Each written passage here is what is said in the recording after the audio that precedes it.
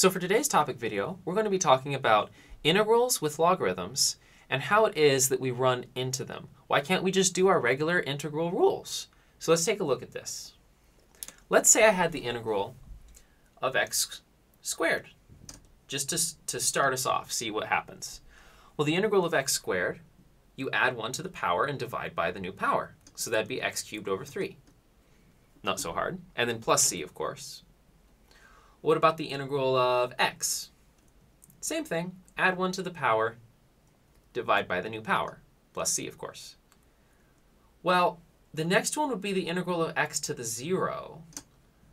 But be careful here. That's just 1. Remember?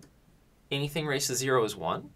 So just an empty integral like this, remember that just comes out to be x plus c.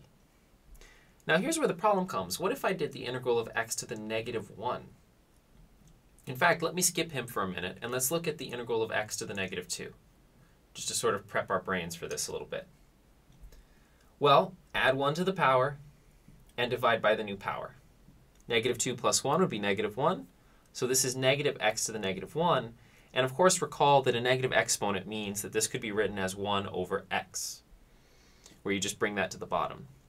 So that x to the negative 2 you probably would have been given as 1 over x squared, and then you'd write it like this to do the integral. So let's look at this guy right here, x to the negative 1, and watch what happens. If I try to just do the rule that worked for all of these other numbers, then what would happen is I would have x to the negative 1 plus 1, add 1 to the power, and divide by the new power. Well, negative 1 plus 1, that's 0, which is x to the 0. And negative 1 plus 0, that's 0. So x to the 0 is 1 over, uh-oh, you can't divide by 0. So apparently the integral of 1 over x, remember that's what x to the negative 1 means, is 1 over 0. Ooh, that doesn't seem right though. Seems like we should be able to get the integral for most things, right? And this doesn't seem like a particularly complicated thing to have, just 1 over x, and yet we're saying we can't even get the integral?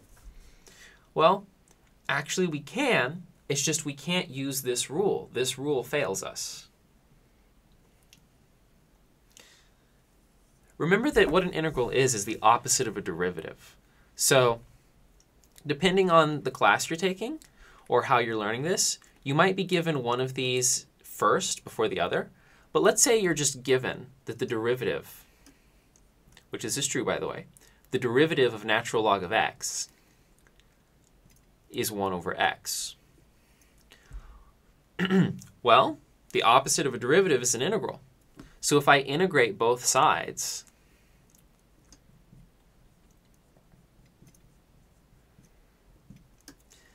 well, if you've got integral of a derivative, that just cancels out and you get what's inside.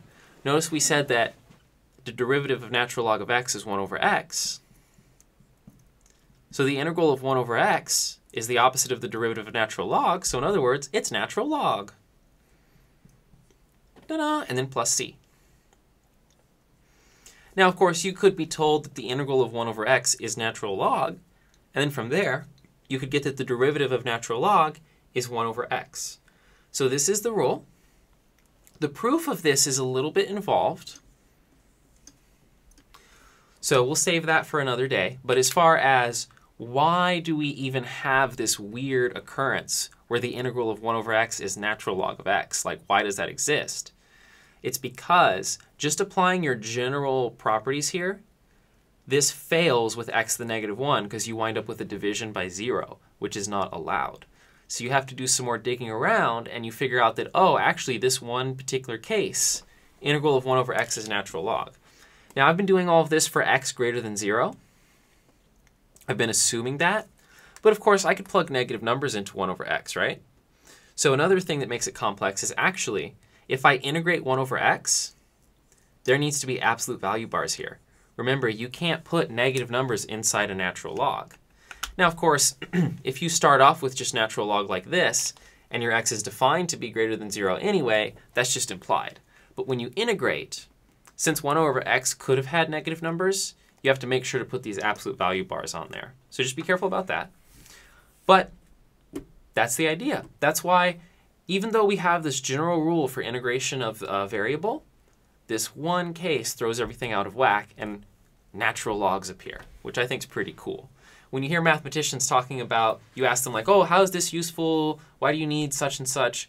And then they say, oh, it just shows up. That's what it feels like. You're studying things, you run into problems, doesn't work, you go and you do extra work, and you find these weird properties. So, in summary, just be careful when you've got this one case of 1 over x, his integral is natural log of the absolute value of x. All right, now that you've seen why it is that logarithms show up in integration, click here if it would interest you to see an actual example using one of these types of integrals.